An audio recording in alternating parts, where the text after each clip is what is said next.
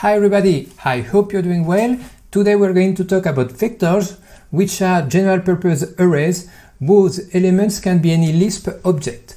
Those elements are accessible in constant time and let's create our first vector with the function vector. We pass it the argument that we want to have as an element. So we pass it three argument. Now we evaluate and we get that vector uh, with the brackets notation.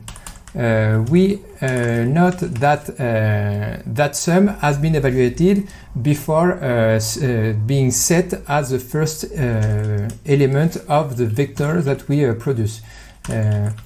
if we use a brackets notation to produce a vector, we see that this is no longer the case.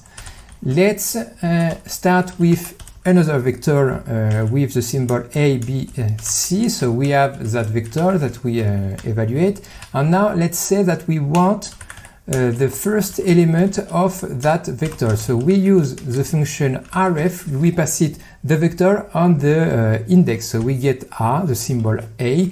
And uh, now we would like to set the first element to uh, the symbol foo. So we can do that with the function aset uh, this is what we get and we can check that the vector 1 has been modified and the first value has been set to foo. Now, if we at some point we get some uh, vector and we want to uh, do some work on it but not modify directly uh, its uh, value so we can use the function seq-copy that uh, does a shallow copy of the vector 1 into the vector 2 so now if we set, for instance, uh, the value, the first element of the vector 2 to uh, bar, we get that. We see that vect 2 uh, is at this first element set to bar, and vect 1 hasn't changed. That's it for today.